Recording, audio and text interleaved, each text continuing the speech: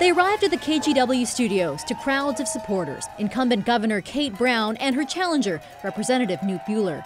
They tackled questions, including where they stood on abortion. I think with what's happening at the national level, it's critically important that women across the state have a true pro choice champion, and I am that champion. As governor, I will not be changing any reproductive rights uh, legisla- uh, laws that currently exist in, in Oregon. KGW political analyst Len Bergstein says that answer was one of many where Buehler tried to distance himself from his own party. He took, answered several questions and said, I'm different than Trump. I'm a different kind of Republican. I'm more independent. On education, Governor Brown touted her leadership and results. On my watch, we've certainly made progress, but it's not enough. We saw the highest improvement in high school graduation rates since we started keeping track in 2017, and our communities of color saw a 7 percent increase uh, in their high school graduation rates as a result of significant investments we made in those communities. Buehler suggested history tells a different story. Just uh, two weeks ago, she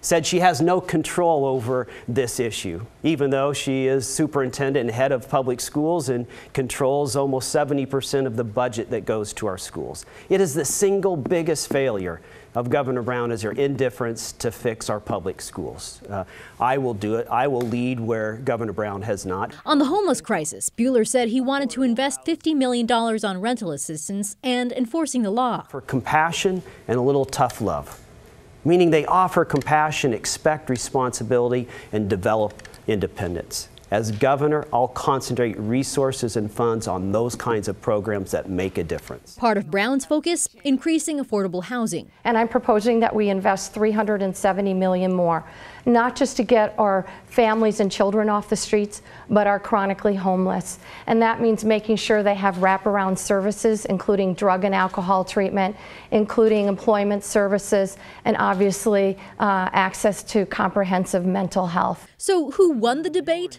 Like the race itself, Bergstein says it's too close to call. The governor held her own, and really a tie goes to the incumbent in this case. And I think overall, this was a debate where there was no kind of you know knockout punch that was delivered, or something that would dramatically change the direction of the race here in the last couple of weeks. The question now is who will you vote for? While you're deciding, make sure you're registered to vote.